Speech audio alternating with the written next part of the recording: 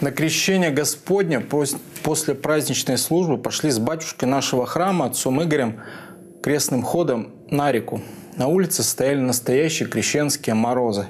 Солнце светило в морозной дымке, деревья были в и пока пришли к реке, все стали похожи на Дедов Морозов. По дороге отец Игорь пел крещенский тропарь в Иордане, крещающийся тебе, Господи. А мы с клиросом и прихожанами мы подпевали. Зябко кутались при этом, все равно мерзли, хотя и пели, а он улыбался и пел еще громче. После освящения воды на престольный крест, которым батюшка трижды окунал в прорубь, покрылся толстым слоем льда. Всю обратную дорогу дед Игорь нес крест, прижимая к груди в голых руках без варежек. Улыбался, пел и нес. В храме женщины, когда мы пришли, стали подходить к кресту, целовали удивлялись, потому что крест был весь как в ледяной броне. Священник же нес его в голых руках с самой реки, при этом нисколько не замерз.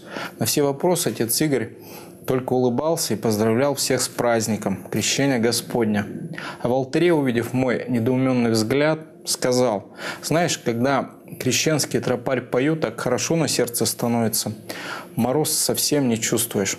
Раньше, когда в деревне служил настоятелем, у нас до Иордании на реке было километра полтора. Я всегда пел этим согревался.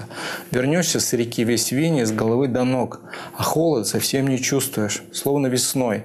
Потом целый день летаешь по храму, как воздушный шарик. Такая радость на сердце не передать. Такие дела.